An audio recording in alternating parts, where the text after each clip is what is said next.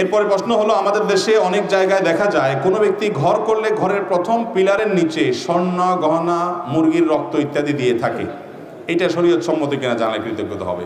ভাই, আমাদের শরীয়তে আল্লাহর দিনের মধ্যে এই ধরনের অযৌক্তিক কুসংস্কারাচ্ছন্ন এ ধরনের ভুয়া ভিত্তিহীন জিনিস থাকতে পারে। মুসলমান ঘর তৈরি করেছেন, বিসমিল্লাহ বলে প্রবেশ করবেন, আল্লাহ সেখানে বরকত দিবেন, আল্লাহর নির্দেশ অনুযায়ী সেই ঘরে চলাফেরা করবেন, এটা তার কাজ।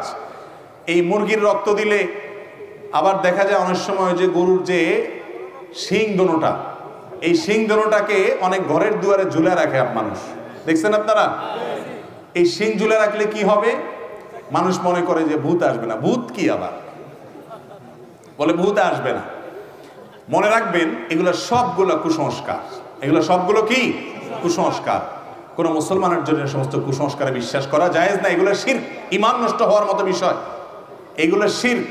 মুসলমানের কল্যাণ অকল্যাণের একমাত্র ক্ষমতা কার হাতে?